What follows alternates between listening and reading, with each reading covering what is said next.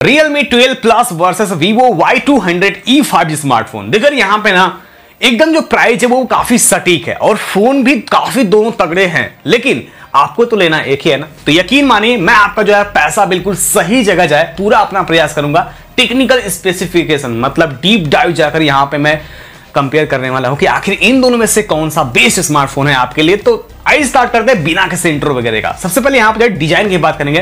देखिए यहाँ पे डिज़ाइन दोनों ही फ़ोन ज़बरदस्त है। पीछे के साइड हो चाहे आगे की साइड से, मुझे काफ़ी पसंद आ रहा है। लेकिन आप पूछेंगे सबसे बढ़िया कौन?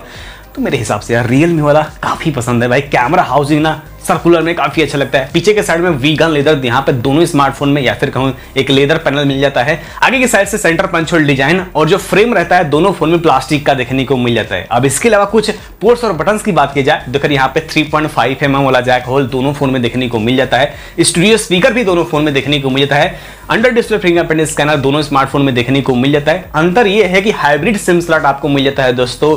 वीवो में, जबकि यहाँ पे ड्यूअल रेनो सिम स्लॉट मिल जाता है रियलमी में। वही डिस्प्ले की बात करते हैं, सबसे पहले वीवो की। 6.6 इंचेस का एक AMOLED full H D plus resolution 120 hertz refresh rate तीन सौ पंचानवे पीपीआई और अठारह 1800 नीट्स जो है पी ब्राइटनेस लेवल रियलमी की बात की जाए 6.6 इंचेस का एक एमोलेड यहाँ भी है full H D one twenty hertz refresh rate यहाँ भी है, लेकिन यहाँ पे तीन सौ पंचानवे पीपीआई तो है। लेकिन जो ब्राइटनेस है ना, वो लगभग हज़ार मिनट्स जो है आसपास होने वाला है। मैं पहले वीडियो बना रहा हूँ, लगभग यही निकल के आएगा। अब बात दिमाग में आती है कि बाकी बेस्ट डिस्प्ले किसका है? देखिए, यहाँ पे ना बस ब्राइटनेस वीवो में ज़्यादा मिल रही है। बाकी जो प्रॉपर्टीज़ है ना, वो सिमिलर ही है। मेरे हिसाब से दोनों ही डिस्प्ले ठीक है। अब बात करते हैं दोस्तों, यहाँ पे गेमिंग को लेकर। डायमेंसिटी सत्तर पचास आपको रियलमी में दूसरी तरफ़ स्नैपड्रैगन का फोर जेन टू अगर कंपेयर किया जाए ना, आप अंदर तो स्कोर से ही देखकर समझ सकते हैं कि लगभग लगभग इक्वल ही परफॉर्म करने वाला क्योंकि यार, दोनों ही फ़ोन में ना, जो रैम रोम टाइप है, वो भी सेम है। LP double D R four X यानी फ़र्स्ट टू पॉइंट टू दोनों ही में सेम देखने को मिल जाता है। तो यहाँ पे भी मतलब आप समझिए, कुल मिलाकर गेमिंग और जो मल्टीटास्किंग जो भी आप करते हैं,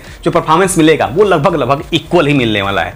बात की दोस्तों यहाँ पर जो ओएस में एंड्रॉइड 14 के साथ दोनों स्मार्टफ़ोन आते हैं और दो साल का मेजर अपडेट और तीन साल का सिक्योरिटी पैच अपडेट दोनों फ़ोन में देखने को मिल जाता है। बैटरी की बात की जाए, पाँच एमएच का बैटरी दोनों स्मार्टफ़ोन में देखने को मिल जाता है, लेकिन वीवो में आपको चौवालीस वाट का जो है चार्जर जबकि रियलमी में आपको 67 वाट का जो है चार्जर देखने को मिल जाता है। अब यहाँ पे बात करते हैं, सबसे मेन टॉपिक वो है, कैमरा किसका तगड़ा होने वाला है? देखो यहाँ पे ना बात की जाए, सबसे पहले वीवो के आपको मिल जाता है चौसठ मेगापिक्सल का मेन कैमरा प्लस आपको दो मेगापिक्सल मैक्रो और एक फ्लिकर सेंसर है।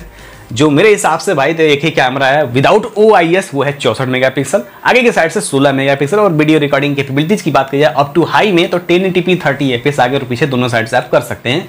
वीवो में, वही रियलमी की बात की जाए तो भाई पचास मेगा पिक्सल का यहाँ पे ओ आई एस के साथ कैमरा सेंसर प्लस आठ मेगा पिक्सल का एक अल्ट्रा वाइड है, दो मेगा पिक्सल मैक्रो के नाम पे आगे के साइड से सोलह मेगा पिक्सल देखने को मिलते हैं। और वीडियो रिकॉर्डिंग कैपेबिलिटीज की बात की जाए तो फोर के रिकॉर्डिंग थर्टी एफ़ पीछे के साइड से, आगे के साइड से ten eighty P thirty F अब देखा जाए ना तो भाई किसका बेहतरीन होने वाला है कैमरा मेरे हिसाब से भाई रियल में क्योंकि यार ओआईएस मिल जाता है, साथ में एक अल्ट्रा वाइड कैमरा साथ में आपको फोर रिकॉर्डिंग ऑप्शन मिल जाता है।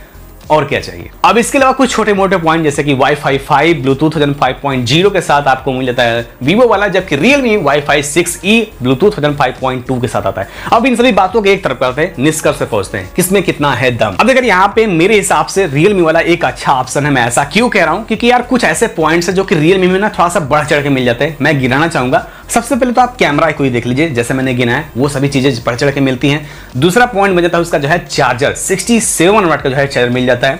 तीसरा ऑप्शन बन जाता है उसका वाई फाई वर्जन 6E चौथा ब्लूटूथ 5.2 उसके बाद लुक ही देख लीजिए, काफ़ी अच्छा मिल जाता है। तो ये कुछ ऐसे ही पॉइंट्स है ना जो आपको थोड़ा सा कमी महसूस कराएँगे दोस्तों वीवो में। और वीवो की रही बात तो वहाँ पे मुझे ब्राइटनेस पे थोड़ा सा बढ़ चढ़ के मिल रहा है। बाकी परफॉर्मेंस तो सेम ही है एमोलेट डिस्प्ले डिस्प्ले सब सेम ही है। आप समझ गए कहने का मतलब। फिर भी आपके दिमाग में कोई भी सवाल वगैरह कमेंट बॉक्स में ज़रूर लिखेगा मैं रिप्लाई एंड पक्का दूँगा। मिलते हैं नेक्स्ट वीडियो में तो तक ले जय हिंद, जय भारत साइनिंग आउट